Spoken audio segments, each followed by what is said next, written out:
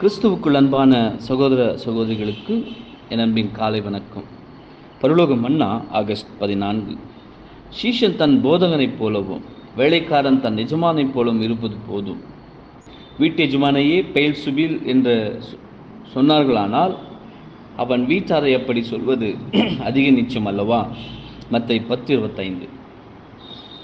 சத்தியமானது பட்டியத்துக்கு ஒப்பாக பேசப்பட்டுள்ளது. எவ்வளவு பொருத்தமானது? இது எப்பக்கத்திலும் ஊடுருவ செல்லக்கூடியது.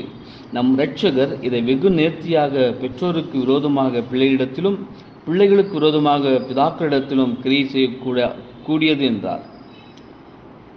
என்றால் இருளுக்கும் ஒளிக்கும் ஐக்கியம் இராது. நம் இரட்சகரின் போதகங்களை ஏற்று நடப்போர் அநேக நிந்தனைகளை சகிப்பது அவசியமானது. நாம் குழப்பமானதை போதியாமல் சத்தியத்தையே பேசுகிறோம்.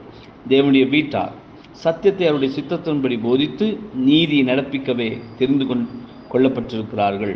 மார்க் மூன்று இருபத்தி ஒன்றிலிருந்து இருபத்தைந்து வரை. என்பதே. ஆமென்.